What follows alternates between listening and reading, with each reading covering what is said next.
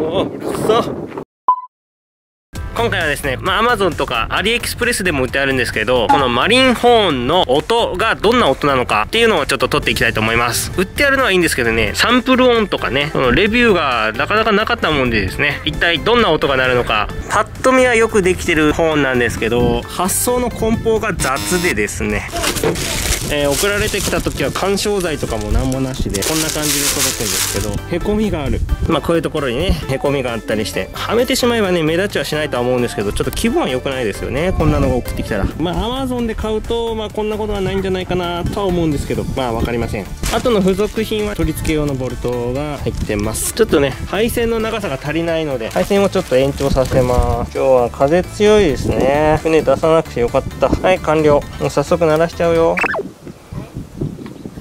そんな大きな音しないよ。えみちゃん。えまちゃん。お鳴った鳴った。えみちゃん。えみちゃんもやる。やる。パパもういい。じゃあ次えみちゃん。結構音大きいですこれ。本当？うん。できる？あ上手じゃん。おいうるさいねプップーってしてみて。ちょっとママ呼ぼうか。いやあ誰かに怒られる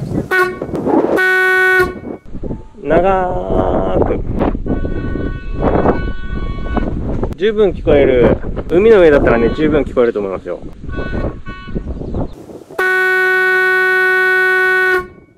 はいじゃあねこの音がですね何の音なのか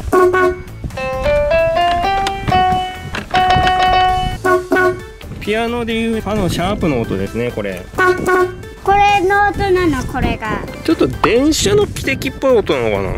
あーうるさかった。はいということでですねマリンホーンを新調する方はね検討されてみてください、うん、ちゃんとした日本製のやつがいいとは思うんですけどね。鳴らしてもいいよ。おおそ。う結構大きいよこれ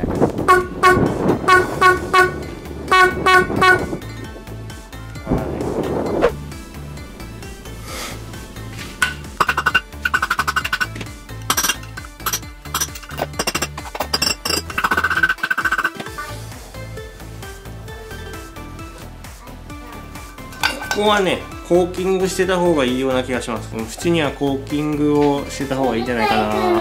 ここにねネジがあったんでネジを外すとこうパカッて外れましたんでここはコーキングしてた方がいい。はい。プップって。上手。いいよ。はい。い。いよもういいよ